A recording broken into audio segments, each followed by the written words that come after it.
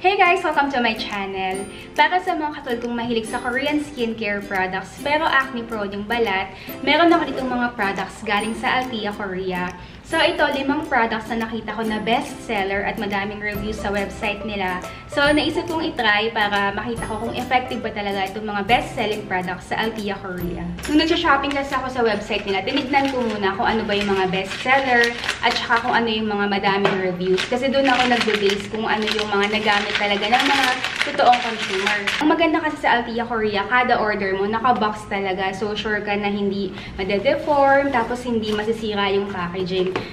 So, ang in-order ko ay limang items. Unang-una, itong Low pH Good Morning Gel Cleanser ng COSRX. Pangatlong bote ko na to ng Claire's Supple Preparation Facial Toner. Nagustuhan ko kasi dito, pagkatapos ko siyang gamitin, parang glass skin ng balat ko. At naman, itong Claire's Freshly Juiced Vitamin Drop Pure Vitamin C Essence. Believe the True Cream Aqua Bomb Increased Hydration Level. So, parang moisturizer siya. Ito ay Garrison Cream 9 complex. Sobrang ganda ng packaging. Ito lahat yung limang items na in-order ko sa Althea, Korea. Pero uh, compared sa mga ibang reviews na ginagawa ko dati na meron pang before, after, ito, itatry ko lahat for the first time para makita nyo yung first impression ko. So, uunahin ko nang itry itong COSRX Low pH Good Morning Gel Cleanser. Para sa mga first time nang makanood sa akin, yung skin type ko sobrang sensitive.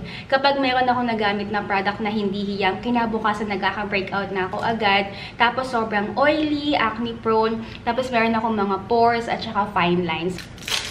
So yung formula niya, clear pero gel type. Tapos wala siyang amoy perfume. Ayan. So kahit walang tubig guys, bumubula siya. Hindi din siya makate, hindi din siya mahapde. Though wala naman ako ngayong acne breakout, so walang masyadong hahapde. Pag low pH, ibig sabihin hindi siya nakakatanggal ng natural oil, so hindi siya drying, wala siya yung mga acidic contents na meron sa mga ibang products. So ito, i-wash off ko lang.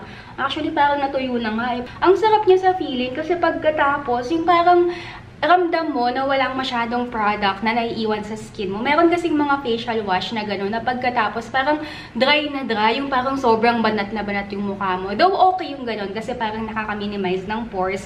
Kaya lang, minsan baka nakaka-dry din. So, hindi din kasi masyadong maganda yon Kasi yung skin, kapag masyadong anti-drying, kapag masyadong strip off yung oil, usually mas nagpo-produce pa ng oil. Kaya minsan nakakapagtaka, di ba? Bakit kapag gumagamit ka ng mga anti-oil anti products, minsan mas nagiging nagiging oily pa.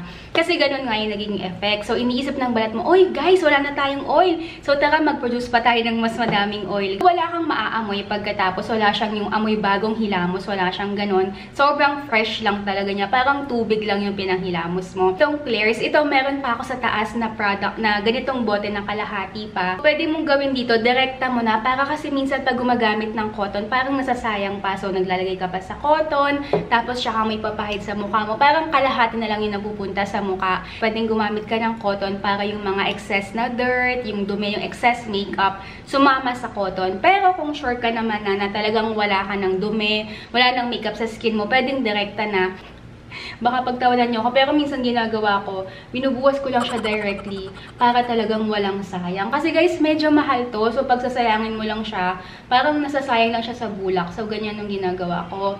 Tapos, tsaka ko siya pinapahid sa mukha ko. So, ganyan, isang patak, tapos enough na yan. Ito, ginagamit ko to sa gabi. Ang ginagawa ko kasi, yung toner ko sa umaga, Eskinol, para nakaka-anti-oil siya. Sa gabi naman, ang toner ko, itong Claire's Supple Preparation Facial Toner. Pangatlong product na itong Claire's Freshly Juiced Vitamin Drop Pure Vitamin C Essence.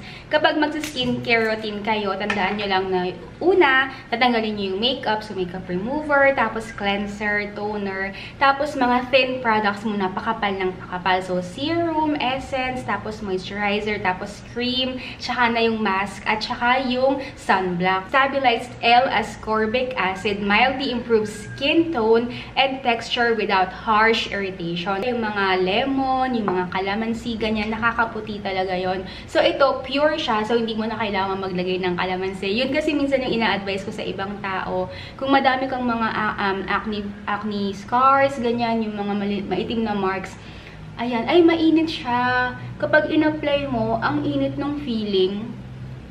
Sobrang init. Though hindi naman mainit yung product, hindi ko siya nilagay or hindi siya galing sa mainit na place. Pero ang init niya kapag in-apply.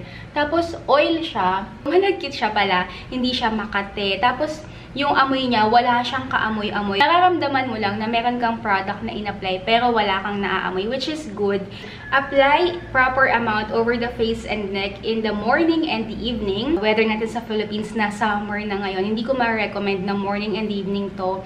Sa Korea siguro pwede kung malamig-lamig. Maganda siya. Yun nga lang, mainit siya sa una. Pero uh, habang tumatagal, nawawala naman na yung init.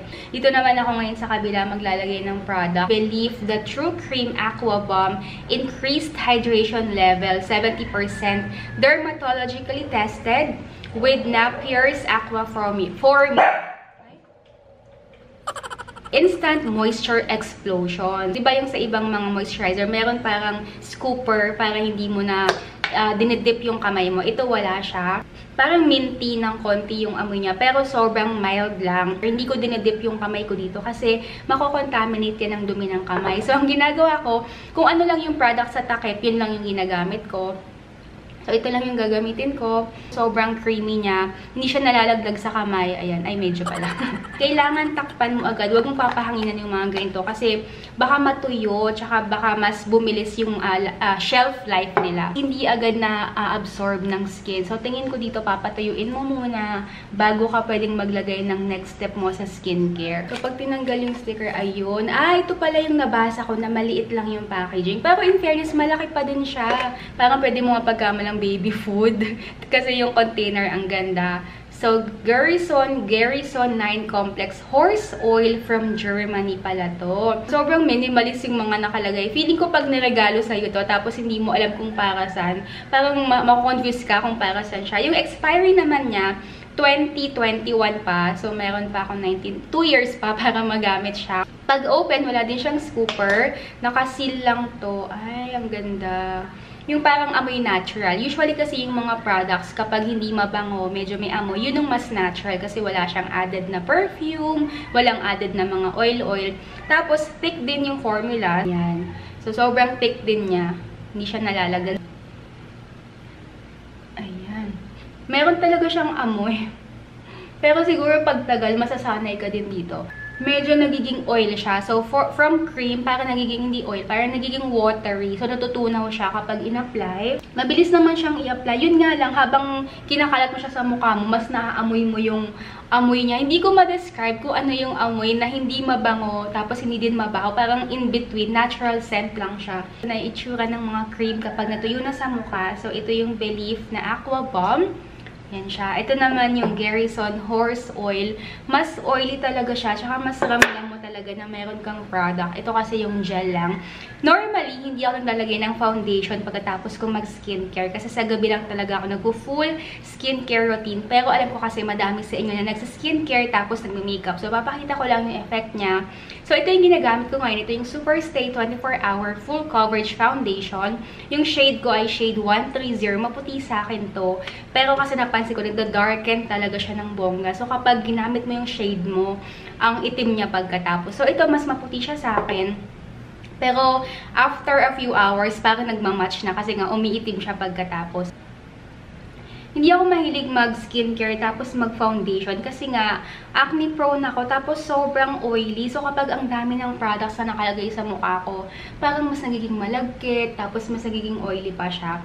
So itong uh, Garrison oil, kapag nilagay mo yung foundation, parang nadidisturb yung product. So ayun no, habang ina-apply ko yung foundation, nararamdaman ko na gumagalaw din yung Garrison oil. Uh, so, mahal siya. So, pag pinatungan mo lang siya ng foundation, parang hindi niya, hindi na ma-maximize ng skin mo yung effect ng horse oil. So, ito yung Aqua Belief, i-blend ko na. So, ito naman, less oily. Pero, ang napansin ko, parang nagkikik, parang namumuo yung foundation kapag pinatong mo. Ayan no, parang meron ka nakakita mga linya-linya. Dito kasi parang nabe-blend lang siya, nagiging makinis. Ito naman, okay, ito, ay, contacts ko. Ito naman, nagkakalinya siya. Ang bigat, para sa akin napakabigat ng feeling kapag ang daming nakalagay. So, ang ginagawa ko kapag ganyan ay blending sponge. Ito medyo damp to, tapos uh, prines ko ng towel para makuha niya yung excess na water. Maganda kasi to kapag gumagamit kayo unang-una yung excess foundation na tatanggal, tapos mas pantay yung pagkakablend ng foundation at saka ng product. Yung Aqua Belief Balm, Uh, tsaka toner din, yung Claire's toner. Tapos ito naman yung vitamin C serum at saka yung Garrison. Gamitan ko na din ng powder. So, ang ginagamit ko naman yung L'Oreal Infallible Pro Matte Shade 300. Mas maputi din sa akin to kasi 400 yung shade ko talaga. Pero yung skin ko kasi nangingitim siya pagtagal. Sobrang acidic. So, dapat guys, kapag acne prone, sensitive, laging bago yung sponge nyo. Yung ganito kasi, usually 2 days ko lang ginagamit. So pag puno na, pag wala nang maputing bago, uh, pag wala nang maputing area yung sponge, pinapalitan ko na agad siya, nilalaban ko. So ito na yung bago. Kapag meron kang madaming products na nalagay sa balat mo, tapos foundation, hindi ka pwedeng mag-swipe. So ang paglalagay mo dapat ito, dump-dump lang para hindi ma-disturb. So, ito, kapag, di ba kanina sobrang oily niya, pag nilagyan mo na ng powder, nawawala naman yung pagka-oil, tapos hindi naman siya sobrang nagkikik, hindi naman makapal yung itsura niya.